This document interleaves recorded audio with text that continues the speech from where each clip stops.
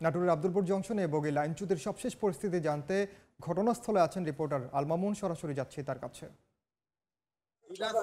পার্বতীপুর থেকে ঢাকাগামী একটি মালগাড়ি মাল ট্রেন আসে।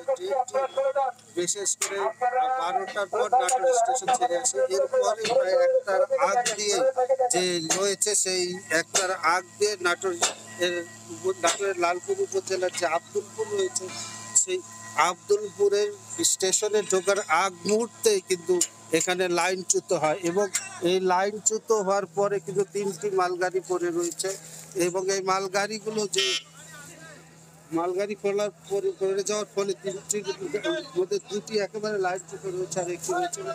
সেই তিনটি মাল বগি রেখে কিন্তু মাল ট্রেনটি সরিয়ে নেওয়া হয়েছে। সরিয়ে নেওয়ার পরে যে বিষয়টি আমরা দেখছি যে কিছুক্ষণ আগে এখানে যে রিলিফ ট্রেন, সেই রিলিফ ট্রেনটি কিন্তু এখানে এসেছে।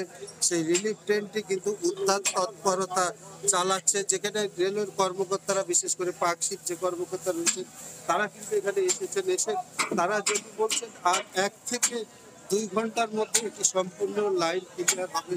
লাইন ক্লিয়ার হওয়ার পরে যে বিষয়টি রয়েছে, তারা এই লাইন চলাচল বিশেষ করে আব্দুলপুর জংশন যেতে, জংশন এই জংশনের, এই স্টেশনের কিন্তু যে রাজশাহী এবং উত্তরাঞ্চলের যে লাইন চলাচল, সেটি রাজশাহীর লাইন চলাচল রয়েছে এবং উত্তরাঞ্চলের যেটি, সেটি কিন্তু ও বন্ধ রয়েছে বিশেষ করে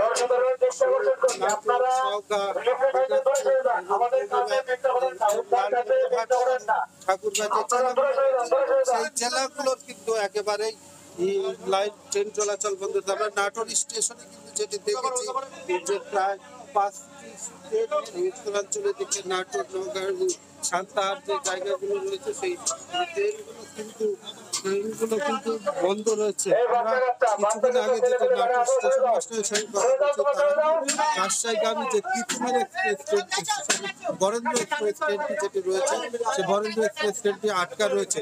এছাড়া ঈশ্বরদী আজিমনগর এই স্টেশনগুলোতে উত্তরাঞ্চলগামী ঢাকা থেকে আসা ট্রেনগুলো আটকা রয়েছে। তো আর এক থেকে দেড় ঘণ্টার মধ্যে রেল চলাচল স্বাভাবিক হবে বলে রেল কর্মকর্তারা যেটি জানিয়েছেন এই ছিল আমার কাছে আব্দুলপুর থেকে মালগাড়ি লাইন সর্বশেষ। সরাসরি যুক্ত ছিলাম নাটোরে।